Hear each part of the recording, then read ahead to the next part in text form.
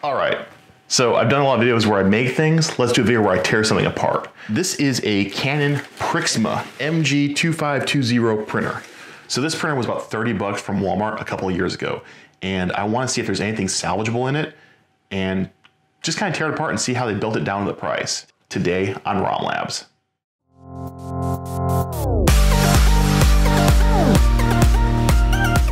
So this is the victim. It's a Canon Pixma MG2520. And like I said, it's a 30 buck printer and it feels like it. So it's, it's incredibly light, uh, a lot of plastic. What I'm hoping to scavenge out of it is the motor here, maybe the ribbon cable, this whole bar assembly, and I'm hoping there might be a step motor or something on the inside. Um, the first thing I'm gonna do is just take off some of these excess parts. Um, and I'm not gonna keep stuff like this. Um, actually, you know what, I'm gonna see if that's actually useful. Um, it's a nice clean white panel. Uh, this thing is a little on the dirty side because frankly it's been sitting around here for a little bit. All this excess plastic will come off. And I am not saving any of this because why? All right. One thing I want to show here it's kind of interesting. This is the power supply, and it throws me for a loop because it is the only thing that is different plastic. It's isolated. Input is 100 to 240 volts at 0.4 amps. Output is 24 volts at 0.63 amps. And I was curious as to why this is so removable because to me it seems silly to make it removable because it's so generic. But you pull this tab down, slide this whole thing there, and then disconnect this blue cable right there. And there is a power supply. It does not feel very robust. And what's kind of interesting, I don't know if you can see it down in there, a security star bit, which I think that should fit. So this is a G.4.5. Yes, that will come undone. Don't know if you'll see that on camera, but that is a, an external spline screw and it fits into a bit like that. So what else is securing this? There it goes. Probably a bunch of solid plastic hooks in there.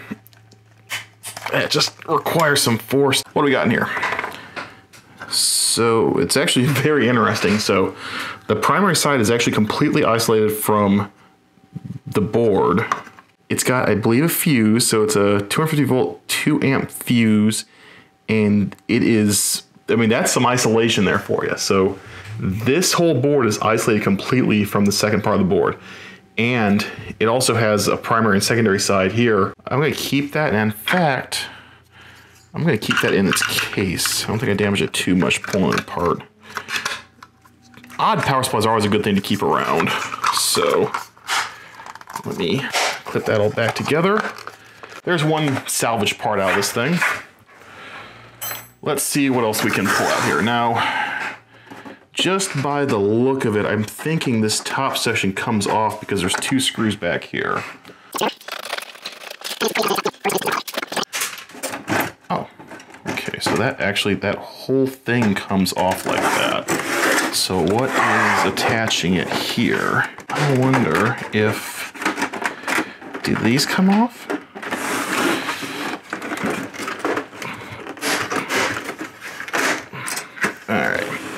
So I'm gonna take off these bits. Ah, yes, they do. So what you got here is a couple light pipes for the LEDs, all the plastic buttons. Got some couple micro switches, what throws me for a loop is so we got these buttons here. These are button, these are the tactile buttons that you touch to do various printer functions. We got a button down here that I don't know what is activating. I oh, it says access door. So there's a little latch right up here. And that corresponds to the action of that switch right there. So it, that's how it's detecting if the access door is open or closed. We'll see if we can save that. Don't want to save any of the plastic because it's plastic. I got two screws here I'm going to pull out, and I think that should take off the entire top here. So,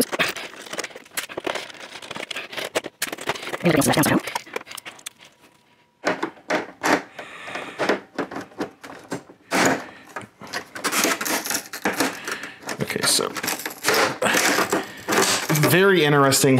This whole plastic frame is actually glued.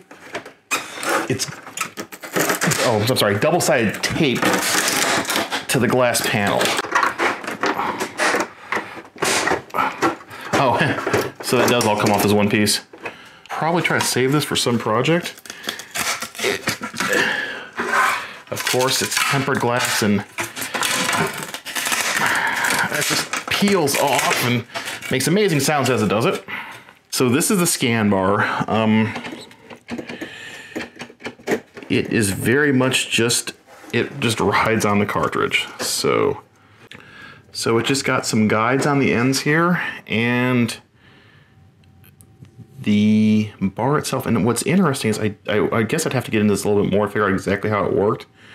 Um, there's obviously some LEDs. It's got a cable. It was connected to maybe a 12 pin cable. So it's gonna have LEDs. It's gonna have some sort of reading assembly in it. So that may be something we explore later on. And then we have this whole assembly. Let me throw that spring away. And I'm gonna pull out here because I really want to show you guys this too. This is kind of neat. This is one of these cost saving measures they go through with. All right. So this is the carriage assembly.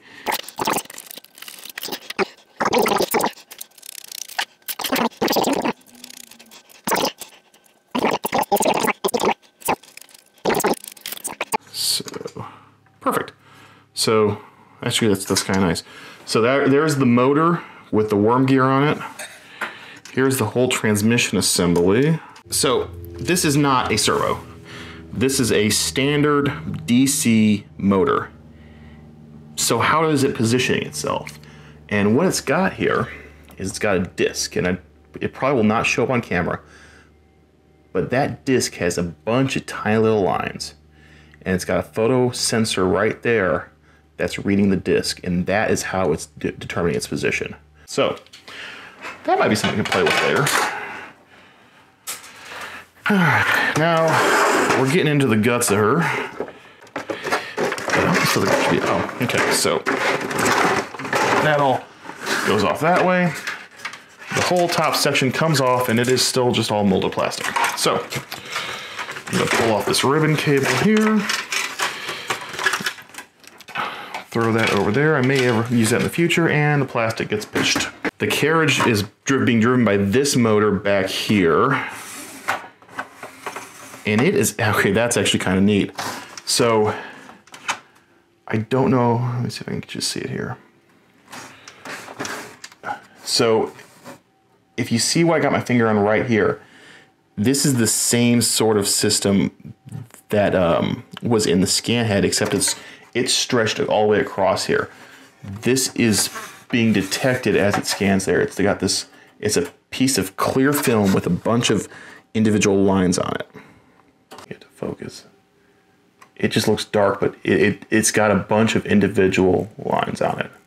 Down in here is where it does the ink stuff. Um, cleans the print heads and you know primes them and dumps the ink into these things. It's also got that's just a little silicone white pad there, and it's got one for both of them. Where's the yeah right there is the silicone white. So that whole assembly pops up and wipes the ink, and uh, I don't want to get my finger too dirty in there, so I'm not going to play with that too much. Uh, otherwise, we have the cartridge. I'm sorry, the carriage I'm guessing over here is where it parks the heads and seals them to try to avoid ink dripping. Because this got a nice rubber seal on it and I think it just pops in when it's in place. So it hits, brings those, brings the seals up and interfaces with the print heads. But that's all mechanical. That's just saying, okay, I'm gonna go all the way over and, and hit those. I'm gonna pull off this ribbon cable here. Let me zoom out a bit because ultimately I need to get this out of the way. So don't see how this all this whole thing is attached. It's I, I'm kind of surprised there's no bearings in here. I mean, there's bearings. Obviously, this is all bearing, but there's no. This is the linear bearing, but it's simply a V groove, and the one up here just feels like a groove as well. Um, so that is what is supporting that print head back and forth, and you know, it's built down to a cost, right? So I can feel there's a little bit of grittiness in there. It does not, it does not stay very smooth as it scan, as it uh, goes back and forth. Let's get this control board out of the way here. So this is the control board and it's single, it's like, you know, a couple chips. It's got USB port, uh, a, a clock on it, an oscillator, and the other connections here. So I'm gonna go ahead and pull these. The blue cable is the primary power feed from the um, power supply down below, and it's got a ferrite bead on it. That is marked LFM. That's marked CRM. And it got that ribbon cable. Pull these two. So here's the circuit board. It is a single chip Taiwan 814400-Q11 Alpha. And it looks like it's the primary drive board. I bet you it's just a, oh, what do we got back here? Got some other stuff here. So you got a couple chips back here. Maybe a memory chip. All right, let's keep at it. Um, I want to take this bit of plastic off there. And that's just a guide to keep the belt on the pulley of that motor. I'm gonna take this motor out, which should be just these two screws. There's the drive motor, just simply pulley drive. That drives the carriage back and forth. So I'm thinking that attaches there. This is actually the most secure screws I've seen secure something in this entire assembly. Take this out. Perfect. That way. Pull this thing side. The don't plastic. So this. This this. Is the print head assembly. This is obviously the interface for the print heads themselves. And it just runs back and forth on this V-groove track. It's it's got the track, the V-groove here. And it's also got a, bunch of parts falling off. It also rides back here and it's got some white lithium grease to keep it from twisting too much, I guess, but that's how that all rides together. Um, is it really that simple? So the, I guess the best way to get this off the track, I'm gonna take this stop out right here.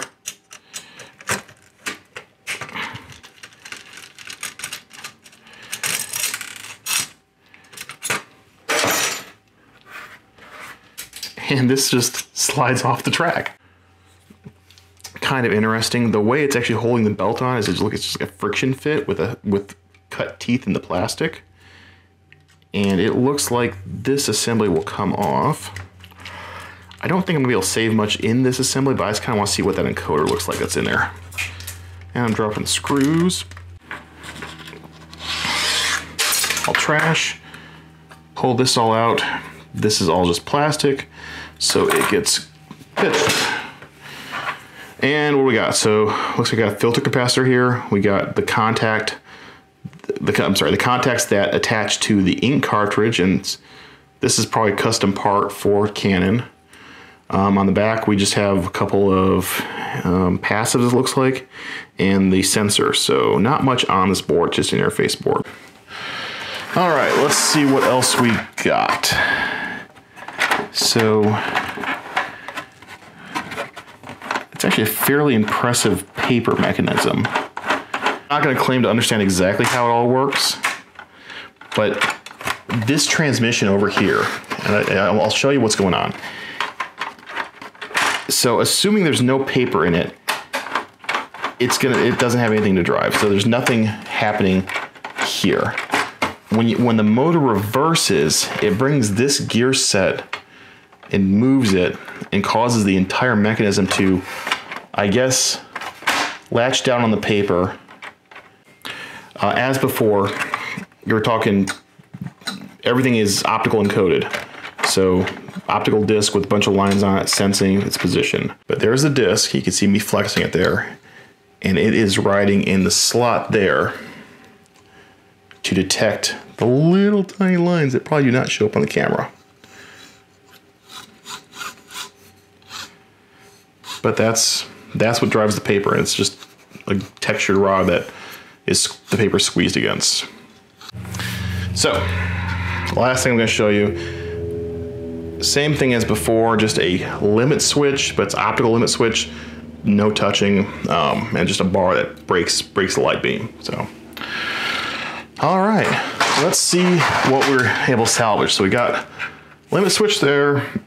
Got this kind of cool motor drive assembly with its optical reader here. Got some ribbon cables that can prove useful for various projects. Got the main control board. I'm not going to probably reuse this for anything. I just want to look at and kind of see what the um, circuitry on it is and the, the ICs. Got a nice piece of tempered glass. Got a nice looking strip of that material that uh, the sensors read on. A couple buttons. A, a nice big, very white piece of plastic the 24 volt power supply, the interface board, that motor and transmission, and finally, okay, the belt, and finally the that motor. So not a bad little haul. I mean, I'm gonna keep these around and see if I can do anything with them. But that's it. So that was the disassembly of a printer. Don't forget about that. That's actually the scanner board itself it's kind of cool to me just because I wanted to see what was in it and how they got built to a cost, and I can see why it's cheap. So, you know, a little bit different video this week, but kind of enjoy taking things apart. So, you know, thanks for watching. Make sure you like, uh, if you want more videos like this, make sure you like and comment below. Subscribe to RomLabs for all my future projects, and keep making things, or in this case, taking them apart.